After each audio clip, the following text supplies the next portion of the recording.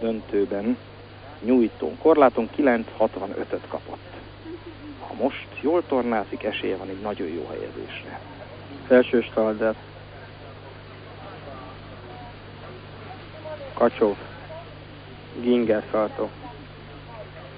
Billenés. Inges kör. Suarez. Jaj, de szép, jó van.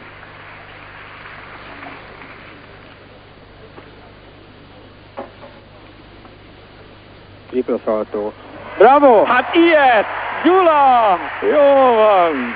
Jól van Takács Gyula!